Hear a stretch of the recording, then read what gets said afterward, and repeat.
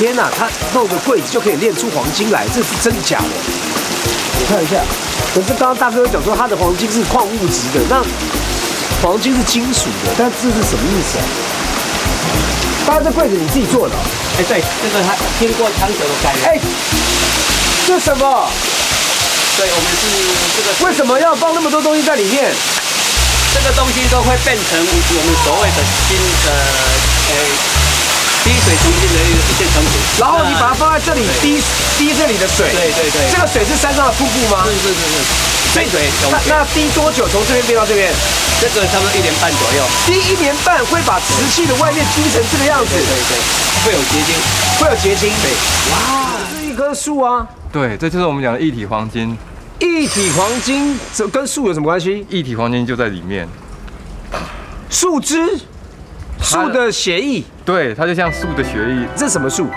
这叫漆树。漆树，对。当割取下来的漆液是乳白色的，称为生漆，是因为经过氧化作用之后呢，颜色才渐渐变深。采下的生漆还必须过滤漆渣，每一滴取得不易的珍贵漆液，要一点都不留的刮下保存。光是这刮板的训练，据说就得花上三年四个月的时间，因为这可是一滴都不能够浪费啊。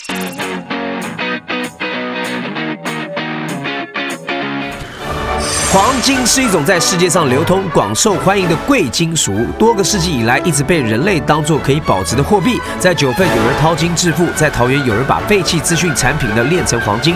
不过在嘉义丰山，却有人可以不费吹灰之力的轻易将任何物品点石成金，让原本毫不起眼的普通物品一夕之间的身价翻了好几百倍。到底这样神奇的炼金术藏了什么不可告人的秘密呢？哎，大哥，大哎，嗨嗨，你好，你好，你好，你好，你好！是是是，哇，摸到你的手，感觉到哦，我今天可以掏金了嘞！对对，哎，大哥，是，你是真的没有带什么工具哎？呃，工具是小工具啦，小工具随身带着。所以我今天跟着你也是可以练到黄金吗？哎，我们去看看。不是这个，这个，这个很严重，因为我的节目啊是这个全国很多人在看哦，还有海外地区很多人在看。嗯，我们节目是有挂保证的，因为之前我们掏金是真的有掏到黄金哦。是是是，不能在你这一段的时候落彩哦。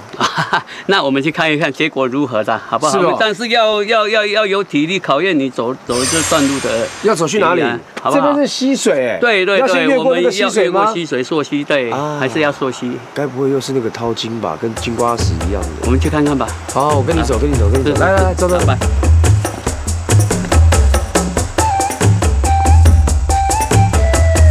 是不是还是要溯溪嘛？我就说，大哥所谓的炼金术一定跟金瓜石的淘金一样，只是我们要溯的这条河也未免太宽了吧？不但河水叫湍急，石头也是一颗比一颗大。我看这种地形想要掏到黄金，要花费的功夫和时间，应该比在金瓜石多上好几百倍吧？大哥这边要到了，是不是？哎，到了，到了，快到了，看到了。这里开始有那个石柱，哎，对对对，这是你炼金的地方吗？是是是是。啊哦，那那个是什么？这个是我们在做这个这个成品的一个地方，哎，呃，做成品的一个地方。对，这是一个柜子。是是是是。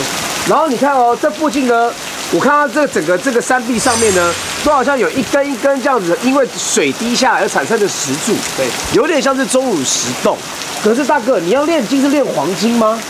呃，这个属于矿类，我们这个看你说的黄金是属于金属，对，那我们这个是矿，属于矿物质，哎，对对，矿物质。那这个里面是怎么样炼金呢？要看吗？当然看一下，看一下，看一下。那我们就把它打开来看哦。天哪，它弄个柜子就可以炼出黄金来，这是真的假的？我看一下。可是刚刚大哥讲说他的黄金是矿物质的，那黄金是金属的，但这是什么意思啊？当然，这柜子你自己做的。哎，对，这个它经过长久的改良。哎，这什么？对，我们是这个。为什么要放那么多东西在里面？这个东西都会变成我们所谓的新的，呃，滴水成金的一些成品。这是滴水成金，可是我看到里面都是一些茶壶跟杯子啊。对，这是你转过来的。对对。那来来这边干嘛？哎。这是后来是变成的颜色吗？原来原来原来的东西是瓷器，是然后你把它放在这里滴滴这里的水，对对对这个水是山上的瀑布吗？是是是是，水水涌那那滴多久从这边变到这边？这个差不多一年半左右。滴一年半会把瓷器的外面滴成这个样子，对对，会有结晶。会有结晶。对，哇，啊，主要是因为它会这样。所以你们在练的金是滴水成金，是是是就是把那个水里面的特有的矿物质把它滴在瓷器上面。对那什么样的材质才才可以放呢？呃，通常我们看到瓷器，这个是瓷器，对，因为这个就是玻璃到酒瓶子，酒瓶也可以放哦，哎，可以酒瓶。你要放一年多，哎，这个这个也快一年半了，这个跟它差不多长期。然后就变成一种特有的工艺品了。啊，对对对，我们给它什么造型的话，嗯哈，就会随着造型来结晶。那这个，那这个它每你你你要隔多久？就这样一直这样滴吗？还是要翻翻面啊什么？要要要翻面一定要一个礼拜要来一趟，一个礼拜要转动一次，它均匀。哎，每一个角度角度像这个，它水滴的位置都是固定，是。我们后来要是帮它个方位。那如果说我拿一些，例如说木木头啊那些来，木头不行不行，木头。那金属类呢？金属类也是会生锈。对，所以瓷器、陶艺、玻璃玻璃、贝壳对。贝壳。那我的手表进来钉呢？啊会不会玫瑰金变成这个金？老雷的啦，真的哦，所以手感不行。手感不行。哦。原来大哥口中的炼金术炼的不是真的黄金，而是一种结晶体，因为泉水中含有碳酸钙和硒等成分。当地居民利用水管将泉水引到特制的铁柜，而这些长期接受泉水冲刷的物体，累积久了就会披上一层黄土色、亮晶晶的物质，看起来就像是镀了一层金似的。看到，所以说这是因为水质本身里面的丰富的矿物质。对对那你们有没有去检测哎，没有这个水能不能喝？呃，我们人体还是可以排出来，但是不能长期。我因为像我来这边工作，我渴的话，我也会偷喝啦，不告诉人家偷喝啦。真的吗？水质怎么样？因为山泉水应该都是甜的啊、它这个是碳酸钙的成分比较高。那它本身是有温泉吗？上面没有。它这个不算是温泉，因为它是流星地底来，所以说浮流，浮流它温度就很恒温，保持恒温。很温的。冬天的话是会冒烟的。我理解，我理解。你真的要喝，回去你回去你准备就要拿出去，有点咸咸的味道，味道会减去我没有喝到什么特别的味道，对啊，就是一样一样咸。但是你只要喝一口的话，它里面它成分不会散很多，它还是可以排出的。我会不会今天晚上尿尿的时候尿出一些？哎，你要去品这个。许大哥说，滴水成金的炼金术看起来好像很简单，但其实要在每周固定来整理翻面，才能够滴出完美无瑕的好作品。而这些陈设在郊外镀金用的铁柜，也得面临人为或环境等破坏考验。我们能看到这些美丽的结晶品背后付出的代价其实不少。噔噔噔噔噔噔噔噔噔噔噔，哈哈哈！实至名归，我真的是。首先我要感谢这个我们啊，这个峰山乡啊，我们那那个哦滴水成金，对有这样的一个水源呢，能够把我这匹金马呢镀金了。哎，这真的是我下一个目标哎，对不对？大哥，这匹金马滴了多久？这个差不多一年半，一年半的时间，对不对？现在它的建议售价是多少钱？很熟悉的问一下，八千块，刚刚好了，八千买个吉利的金马。这个我很好奇，哇，这个你看到没有？这个厉害了吧？啊，你看到啊，一颗金球有没有？就是一个灯泡，哎，这灯泡是真的灯泡，真的，这个也是滴了一年多，对，一年多而已。然后你要去翻面嘛，要要哦要把它弄画的啦平均对不对这个掉的，这个不掉的话，它放不不会固定的。是。接下来呢，这个呢非常大的一个茶壶，你觉得比较热销的商品茶壶，大家比较接受？哎，对，大众化。大众化，大家拿回去就是放着，因为它也不能够泡茶了，对对对，就拿去放着，因为它有亮晶晶的一个结晶，哦，让人家觉得这个是滴水成金啊，吉啊吉利的。哦，吉利，这个厉害了，大头宝宝哇！从外形上呢看看出来，还可以看得出来是大头宝宝，而且它是一个存钱的铺满，但是已经把它都满了满了哦。哦，希望你以后呢能够有更多更多呢有别于这个茶壶啦啊，或者一些动物啦、跟到，还有更多的东西你可以放去那边呢，对，一圆大家的一种。平凡的物品只要透过滴水成金，就能够绽放出耀眼光芒，身价也跟着水涨船高。但变脸要花费长时间，也得经常照顾翻面，才能够造就这些精彩夺目的作品与世人分享。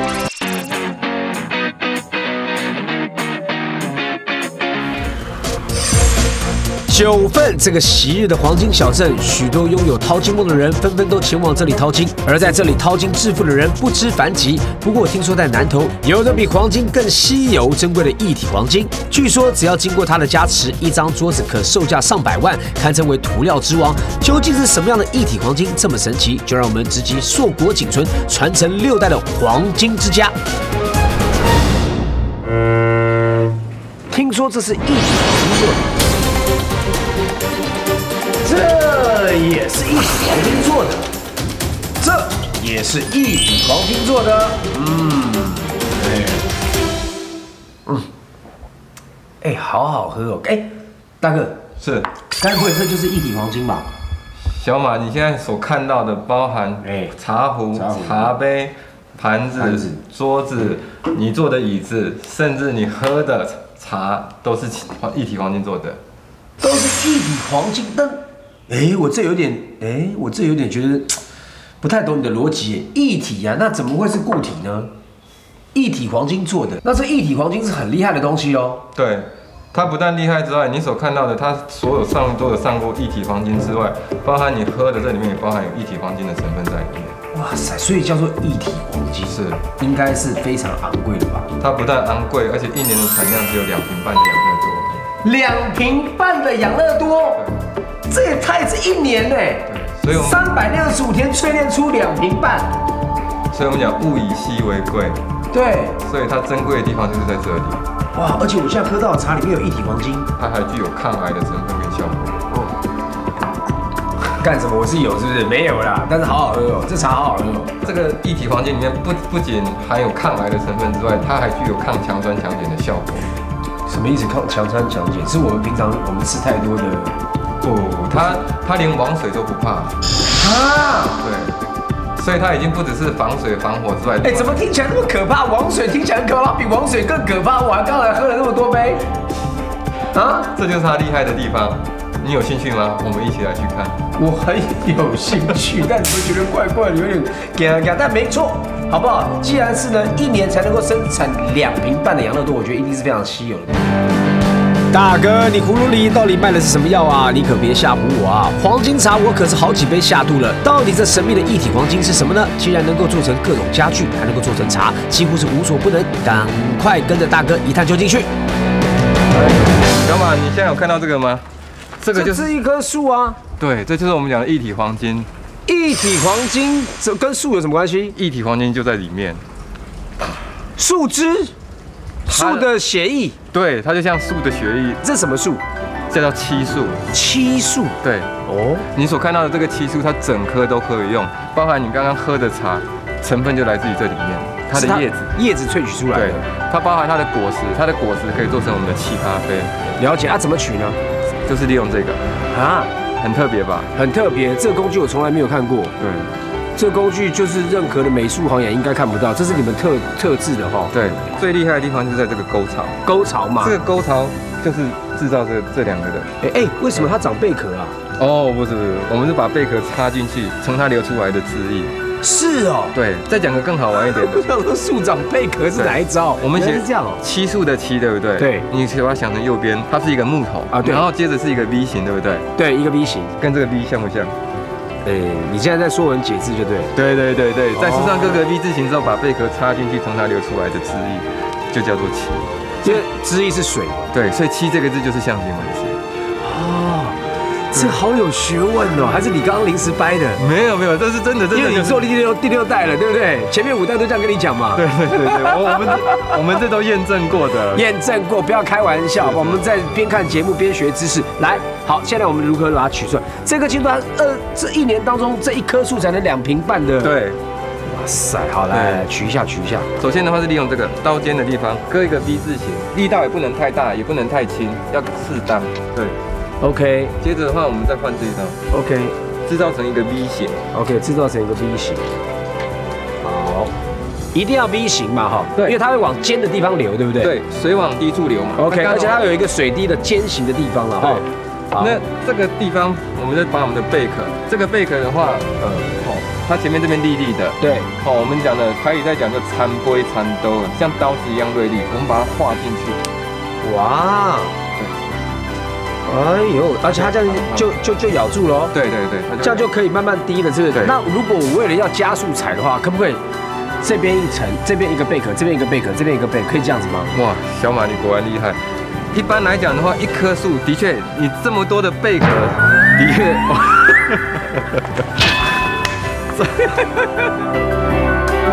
实际割七树才发现力道的拿捏并不容易，好险很快就尝试成功了，哈哈，叫我七树小当家一点也不为过。不过说也奇怪，这贝壳插进树上这么久，怎么还是不见它的踪迹呢？原来这贝壳必须得放置一个晚上才有可能采到血液。大哥表示他前一天可能就有采啦，赶快来去看看一体黄金的真面目。这棵树应该是很老的树了哈。嗯，你有看到它割漆的痕迹对吧？对，你看它割漆的痕迹就可以代表它它它的年轮一样了嘛。是慢慢一一点一点的这样累积起来，一点一点累积哦。这好像军阶哦，人家那种军阶有没有？军人的灰阶。好，现在的那棵，哎呦，有看到吗？这边有踩到，哎，是黑黑的是吗？对，这就是一一真的。哎，待会待会待会，这个不能直接碰。这个不能直接碰。对，这个是一体黄金的话，有些人刚接触的时候，它会产生瘙痒的现象，会过敏。那我戴手套可以？对对对，一定要戴个手套做个防护一下。那我可以把它拔下来吗？可以可以，你可以看一下。对，轻轻的，有看到吗？一个晚上的量才这么一点点而已。这很黑哎，这根本有点像枇杷膏啦。这个只要稍微再搅拌一下，它颜色又会变回来。变什么颜色？变成淡淡黄黄的。它现在搅拌，它是很自然的氧化的反应而已。这哎，我怎么越讲越奇怪？这个汁又会让人过敏，然后又又又比王水厉害，然后我刚才喝了那么多。其实小马你知道吗？这个东西早在几几千年前就有这个东西，最早是七千年前就有这个东西了。而且在《本草纲目》上面有记载，第一句话就写温无毒，它可以当药理。哦，温。和无毒，对温的话，食物有分寒性的、热性跟温性的，它是温性的，OK，而且它是无毒的，无毒但是会让你过敏，它也是因为它里面的酵素非常强的关系，它是植物性的蛋白，跟人体蛋白会产生瘙痒的现象，类似像过敏原的东西。那最严重会怎样？就是不断抓而已，你要喝止它，就是不要去抓它就好。哦，哇，那还还挺可怕的。大哥说，这就是传说中的七咬人，因为七液中含有七分，碰到可是会严重的过敏、发痒不止，完全没有特效药，大约要七天才能够痊愈。而其实刚割取下来的漆液是乳白色的，称为生漆，是因为经过氧化作用之后呢，颜色才渐渐变深。采下的生漆还必须过滤漆渣，每一滴取得不易的珍贵漆液，要一点都不留的刮下保存。光是这刮板的训练，据说就得花上三年四个月的时间，因为这可是一滴都不能。不浪费啊！哦，现在是这个一体黄金的运用了，对不对？对对对。那哪个是一体黄金做出来的呢？像这个，你看看，这个手环，哎，什么材质？你可以拿下来吗？我看看。哦，不好拿，是不是？很好拿，很好拿哦。哎呦，这个里面就是漆木，不是。这个很轻啊，外面这个颜色是呃矿物原料，跟漆结合的，矿石跟漆结合的。好，那你你我猜不到，你直接跟我。就是用布做的啊，这很轻，很轻。你说这一圈一圈做的那么厚？没有，这个布是做一个架构，然后布做一个架构。哎，这个漆漆了三百层，两天漆一层。这个手环的。最开始是一个一条纱布，对，然后慢慢开始把这个一体黄金，对对对，涂三百层，涂到那么厚，对，哎呦，这个很厉害，没有想到说这居然是来自一片纱布，哎，是，哇哦，大哥，这个东西我很罕见哎，这个很外面没有，这个价值很很贵吧？这个价值不好意思讲，但是这个价值绝对不菲，绝对不菲，大概大概估计一下。大概是几万块跑不掉了，这样子一条几万块，可是你涂了三百层的，对，你那你做一个要花多久时间？两三年的时间。那也太便宜了啦！我的天哪，真是不敢相信，这一条小小软软的纱布，竟然可以变成硬邦邦、坚固轻盈的手环。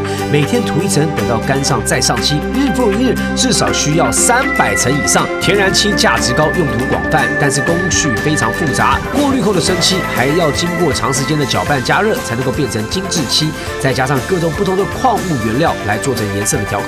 但是这一条小纱布到底是如何变成手环的呢？加了个模子哦，把它缠到个变圆的呀呀呀呀！所以这个东西呢，加一点在这上面。哦，这可以用手摸。这个你不能用手摸，我可以哦。为什么啊？我已经。